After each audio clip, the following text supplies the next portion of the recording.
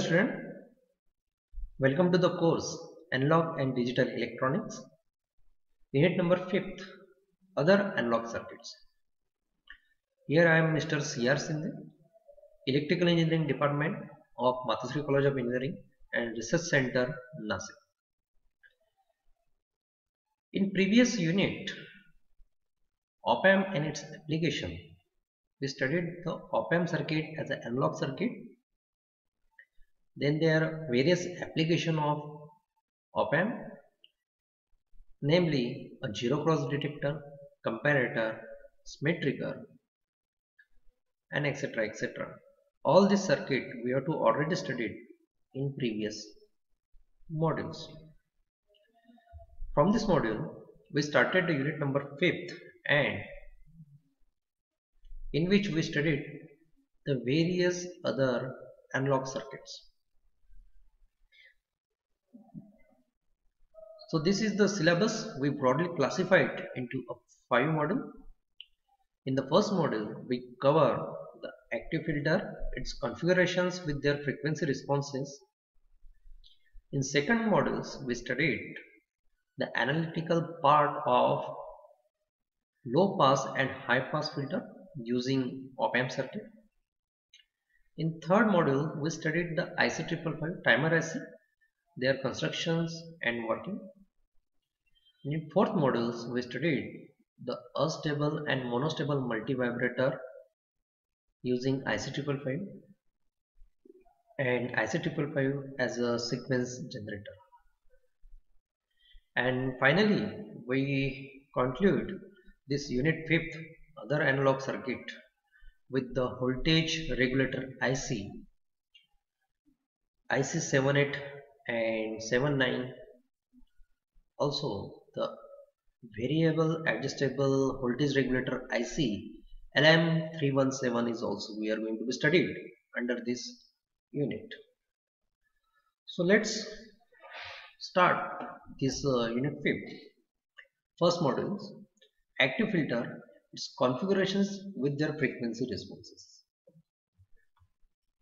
These are the content we are uh, studied under this module firstly we take the introductions about the filters then their classifications then various terminology of filters and their frequency responses. Now what is the filter? So filter is basically a frequency selective circuit. Means particular range of frequency is passed and uh, particular range of frequency is blocked by the circuit called as filter. So simple language we call the filter as a frequency lift. So particular range of frequency we pass it and particular range of frequency we block it. Okay. And accordingly there is a stop band and pass band is created in these active filters. Now the filter is uh, mainly classified as uh, analog filter and digital filter. Here it can be shown like that. And uh, analog filter is further classified as active filter and passive filter. The filter which use the active component we call it as the active filter and the filter we use the passive component we call it as the passive filter.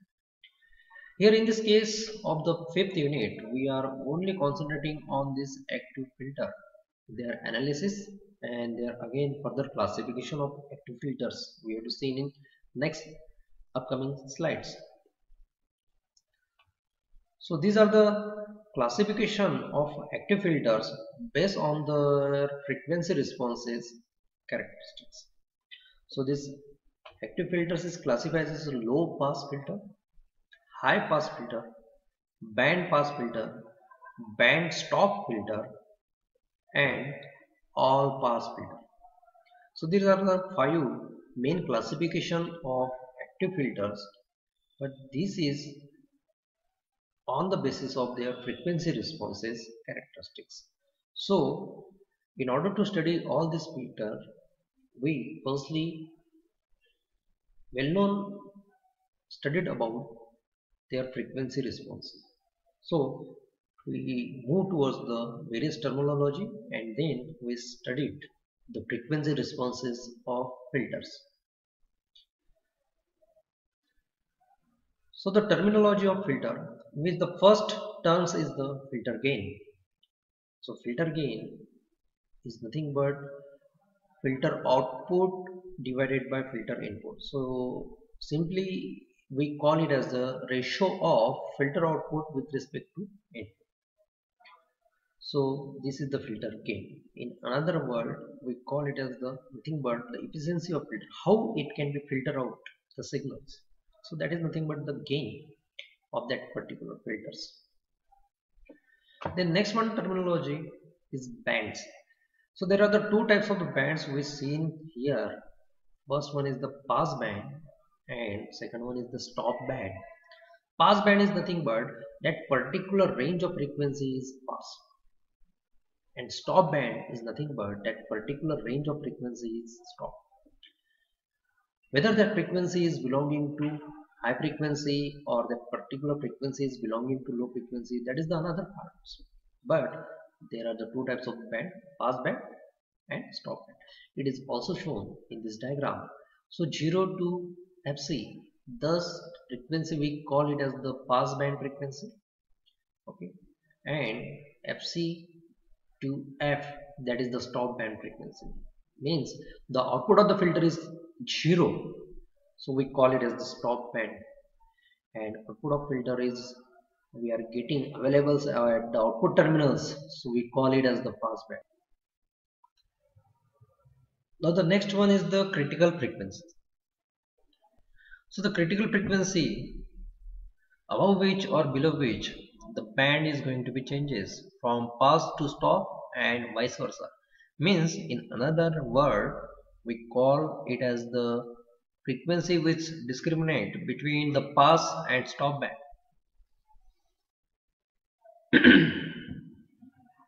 The next one is the 3 dB frequency terminology this is an uh, important parameters we call it as the minus 3 dB frequency and this is the frequency at which the power delivered to the load is reduced to 50% of its maximum value.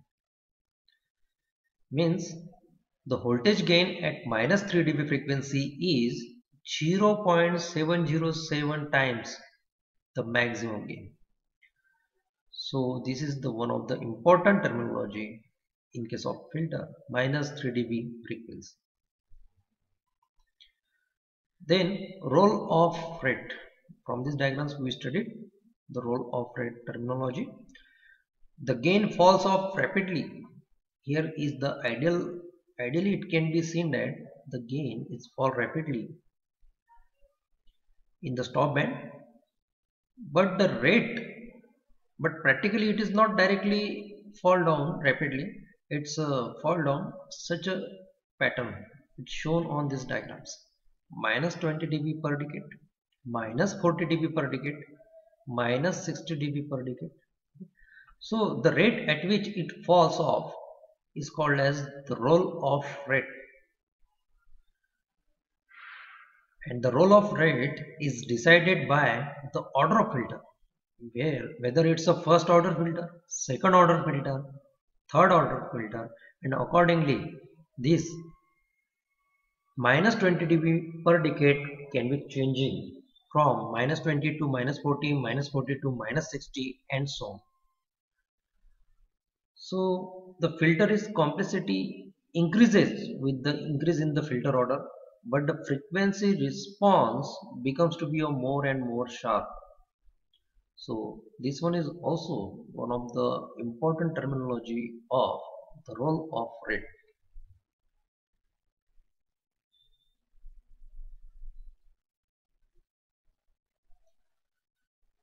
Now we studied the various filter frequency response. The first one is the low pass filter frequency response.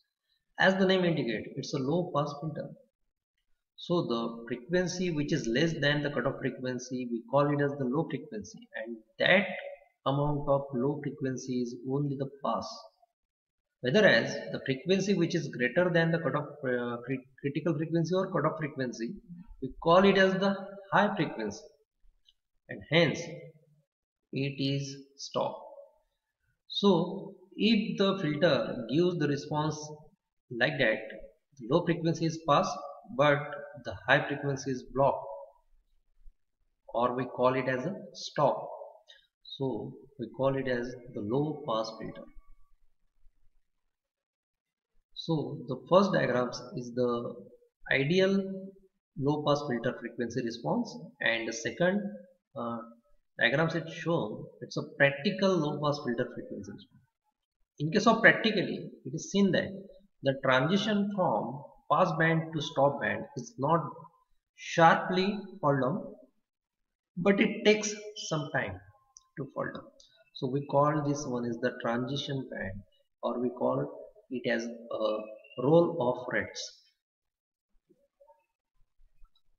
The next one filter is the high pass filter. This is exactly opposite to that of the low pass filter. High pass filter as the name indicates so high frequency is pass hence obviously the low frequency is drop but which frequency is the high and which frequency is the low? So which is determined by this cutoff frequency. The frequency which is less than cutoff frequency we call it as the low frequency range or we call it as a low frequency band and we stop it. Means we block it this kind of frequency. And when the frequency which is greater than the cutoff frequency only that frequency is passed through this filter. So we call this filter as the high pass filter. And this is the ideal frequency response of high pass filter. And the second diagram shows the practical frequency response of the high pass filter. Here it can be seen that from transition stop band to pass band some time is required now the next one is the band pass filter. Particular band of frequency is passed and above that band and below that band the frequency is blocked in another word we call it as a stop. So that kind of filter is called as band pass filter. So it is clearly seen in this response graph. Low frequency and high frequency this much amount of band is only pass. Then the output can be generated. Whereas above this band above this band the frequency is blocked. Below this band the frequency is blocked. So we call this kind of filter as a band pass filter. And this one is the band stop filter exactly opposite to the band pass filter frequency response. Particular band of frequency is stop and above that band of frequency or below that band of frequency frequencies are passed. So that kind of filter we call it as the band stop filter. So it is clearly seen that low frequency to high frequency this particular band is stopped here means we are blocking this particular frequency signal. And above this particular band of frequency signal is passed below this particular frequency of signal is passed so we call this as the band stop filter. So this is the different types of filter and their frequency responses. And thank you for watching this video if you have any query so ask me anytimes on my personal gmail.coms as well as my official gmail.coms or my whatsapp number. Thank you very much.